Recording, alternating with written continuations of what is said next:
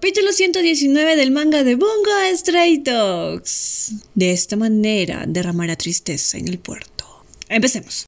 El capítulo 119 comienza en donde nos quedamos, el encuentro de Atsushi Nakajima y Fyodor Dostoyevsky, uno de los encuentros menos esperados pero uno de los más emocionantes porque es la primera vez que se ven cara a cara. Aparte que es este capítulo rebosa de mucha información. Pero hay que ser sinceros, una vez que aparece Fyodor Dostoyevsky, las cosas siempre se van a poner interesantes. Muy bien, vamos al caso. En el anterior capítulo nos hemos quedado con Atsushi y Fyodor Dostoyevsky y Atsushi le había preguntado a Fyodor Dostoyevsky por qué lo salvaría. Recuerden que en el anterior capítulo parecía como en son de broma, Fyodor Dostoyevsky le había dicho que él lo salvaría y es evidente que Atsushi desconfía de esas palabras. Fyodor Dostoyevsky le dice a Nakajima que está muy feliz que finalmente haya coincidido con él y quiere hablar con Atsushi. Y en un movimiento muy rápido de parte de Fyodor Dostoyevsky, este se arrodilla y le toma la mano a Atsushi. Atsushi da un brinco hacia atrás por el terror que le genera y cuando se aleja lo ve con ojos de ira. Fyodor Dostoyevsky se disculpa por su actuar y luego pasa a decir que él, el gremio y otras personas lo han estado persiguiendo. Y este pregunta a Atsushi, ¿y sabes por qué?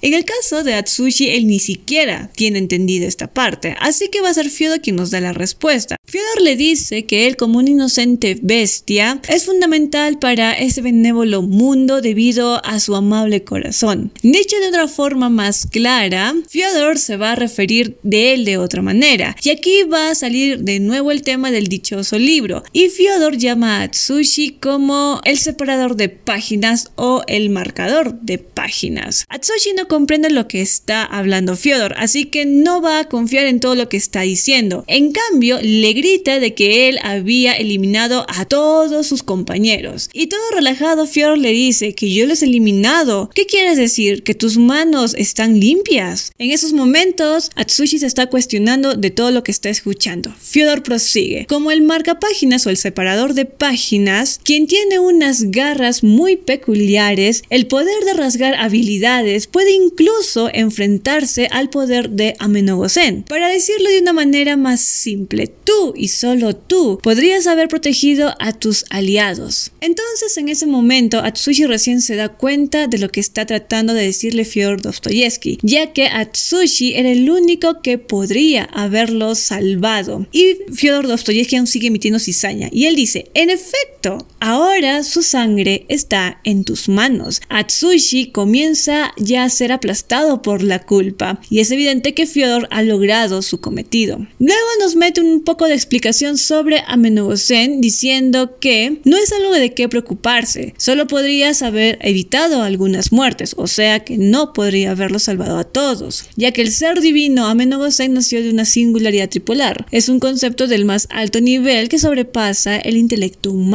y ese ser divino no ha estado aquí presente desde el principio. Atsushi no comprende lo que está diciendo. Fyodor Dostoyevsky dice que el ser divino se presentó como una manifestación física de la espada espacio-temporal Amenogosen, al haber tres dimensiones, altura, anchura y profundidad, y agregarle a esta otra dimensión, su cuerpo ahora existe en el espacio de Minkowski, una cuarta dimensión única. En esencia, la figura que se ve en realidad es una sombra evocada de un plano superior de la existencia. Y entre los ojos de cualquiera, Amenogosen sí existe, sin embargo no es más que una mera imagen falsa, una imitación proyectada por la luz del sol. Un ser tridimensional como cualquiera que se puede ver, pero que está a un nivel más superior. Así que Fior le hace una pregunta muy fácil y obvia y le dice, ¿moriría un hombre por solo atravesar su sombra? La respuesta es no. Atsushi no entiende nada de lo que está hablando Fyodor Dostoyevsky, pero sabe algo y se aferra a ello, y es no enfrentarse al ser divino. Luego, Fyodor Dostoyevsky se está acercando lentamente y él dice, he cumplido mi misión, he superado a Dasai y al resto del mundo, a la vez que obtuve al ser divino y al One Order. Al fin me puedo ir a casa para dormir. Fyodor estira su mano y acaricia el rostro de Atsushi y le hace una propuesta. ¿Te gustaría acompañarme? Atsushi se queda paralizado y dice ¿qué?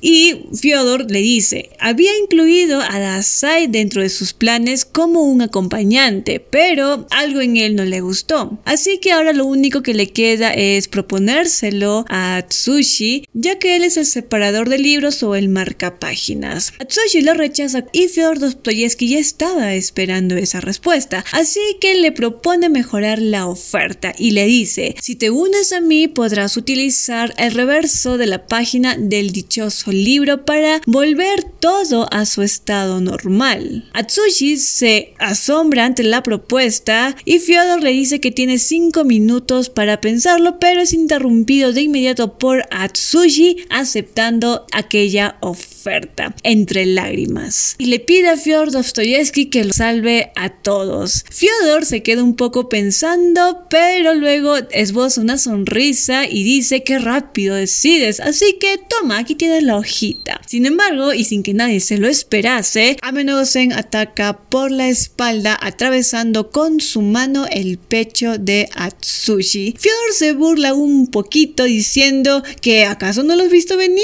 y Atsushi cae al suelo.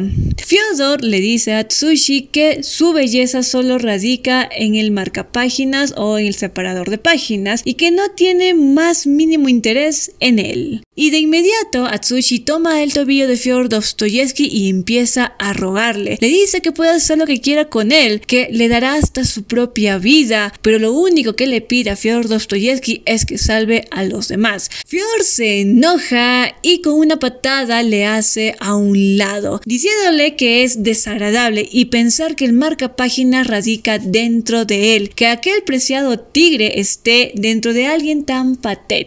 Atsushi no comprende lo que está pasando porque él ya ha aceptado la propuesta. Sin embargo, Fyodor ahora lo está rechazando. Y aún así, Atsushi le sigue rogando y le dice que si hay algo que él pueda hacer, lo hará. Y esto enoja aún más a Fyodor Dostoyevsky cambiando de opinión y ordena a Menogosen que lo decapite, que del cuello para arriba es más que suficiente para cumplir las funciones del marca páginas y del acompañante. Y en el pleno proceso de la separación de la cabeza y el cuerpo, el brazo de Amenogosen es cortado. Atsushi, Fyodor y Amenogosen quedan sorprendidos ante tal suceso y a lo lejos aparece un caballero de armadura negra, un caballero oscuro que se asoma y entrará a la batalla. Quien está caminando con paso firme y acercándose y mientras tanto él está pronunciando algunas palabras y dice, teme la muerte, teme la matanza.